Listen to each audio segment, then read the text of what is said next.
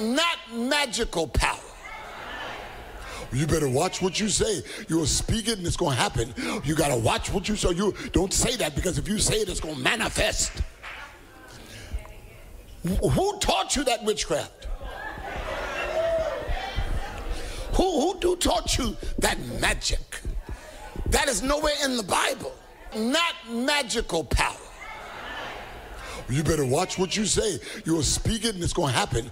You got to watch what you say. You don't say that because if you say it, it's going to manifest. Who taught you that witchcraft? Who, who, who taught you that magic? That is nowhere in the Bible. I, the reason why I don't hear a lot of amens is because people are checking themselves right now. Checking themselves. Wait, wait. Amen. It is important that we correct your theology. So this way you can have the benefit of the Bible. But when you start applying things that you've heard by TikTok or, or Facebook or, or false preachers, then you're going to wind up jacked up because that's not the scriptures. Everything that you hear, you need to check it with the book. Everything that you hear, no matter who the preacher is, inclusive of myself, you need to check it with the book. You hear what I'm saying? Because if it's really the word, then I don't have any fear of you checking it because I've already done my research. I've already done my study. And God has already breathed that in me to breathe to you. So you can go and double check that, vet it all that you want because that's your job. You don't just swallow whatever's put in front of you. You make sure that it's good. Amen. Amen. Amen. So you've got to make sure that this is, is something that you comprehend and understand. Words are powerful, they have power, but not magical power.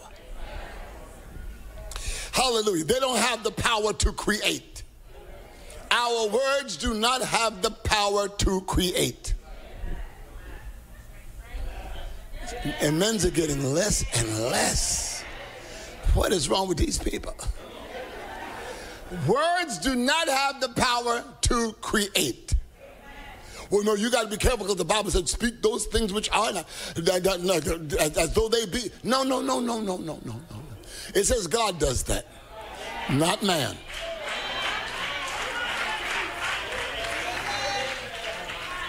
There's a dead zone in here somewhere. Only God can speak that which is not as though it were.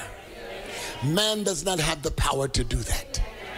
I decree. No, no, only the king can decree. You can declare what the king decrees, but you can't make any decree. We live by the kingdom's order. We live by the kingdom structure. The king makes a decree and we declare the decree.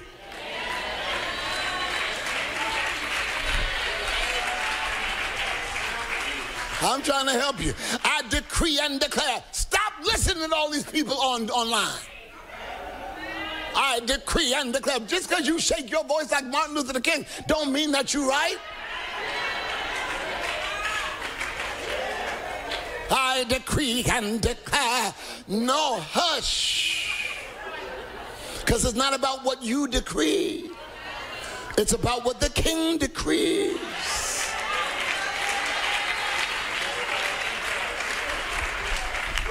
Oh, put, put that to your study. Check what I'm saying. Check what I'm saying. Amen. Our, our words don't have the power to create. Our words do not have the power to make manifest, manifest, manifest. Holy Spirit, activate. No, we don't have that power.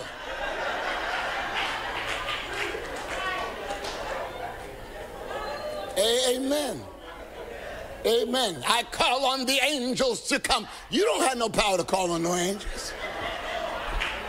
You don't have no power to call. See, we, we make this thing magic and spooky. I call upon the angels of the Lord to come. God assigns that.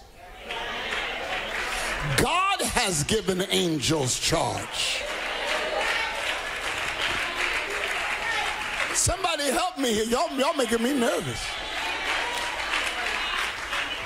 I call upon the ministering angels. Oh, my dear, who gave you that false sense of authority? You speak to God, and God dispatches according to his will. Hallelujah. And we think that our, we think that our words are magical.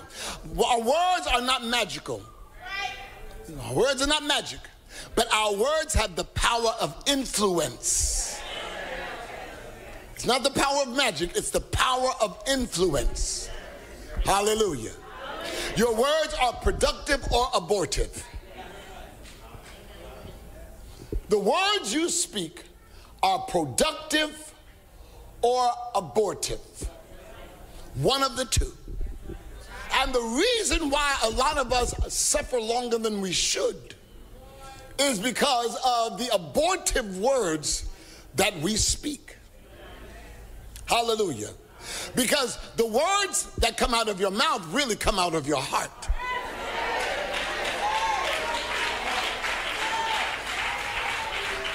Jesus said in the book of Matthew, Jesus said in the book of Matthew 12, chapter 20, 30, 34th verse, he says, out of the abundance of the heart, the mouth speaks. To speak don't just come out of your head, it comes out of your heart. And what you speak out of your heart through your mouth affects your thinking. What you speak out of your heart through your mouth, it, it, it, impacts thought. I'm trying not to be so cerebral. What's in your heart that comes out of your mouth creates and impacts thought. If you say enough, I can't do, then you convince yourself that you don't have the ability to do. I can't should not be in the Christian's vocabulary.